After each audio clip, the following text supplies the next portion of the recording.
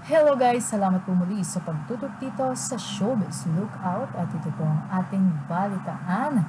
Good news para kay Katin Bernardo at Daniel Padilla dahil may work na naman po sila at magkasama nga ang Kathniel dahil nakita nga po natin ang post ni Ryan ko sa kanyang Instagram account at syempre ano nga ba ang kanyang sinabi hashtag endorsement shoot, hashtag Kathniel.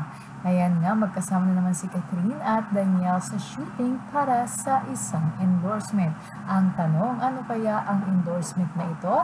Pero hindi naman po sinabi ni Ryan po at nagkatagpo nga ang post ni Ryan po at ni Catherine sa kanyang Instagram story naman at sinabi niyang another work day with my love.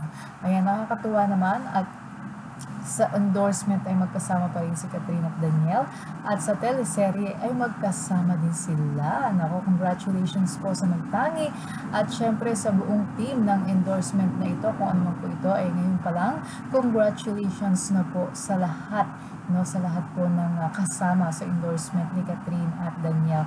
Talagang uh, kaya bala na yun. Kaya bal ang tawagan nila dahil para na silang kambal.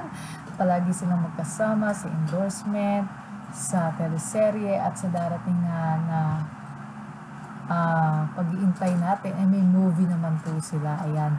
Ito nga po ang endorsement nila pero abangan na lang po natin yung mga next na post ni Ryan po at ni Miss Catherine Bernardo.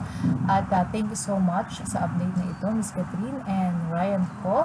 At nawa po mag-enjoy kayo sa inyong shooting para sa inyong endorsement. Abang-abang na naman ang uh, event na ito o moment na ito ni Catherine Bernardo at Daniel Capillo. Excited na naman, nakaka-excite at may bago na naman tayong aabangan sa magtangi.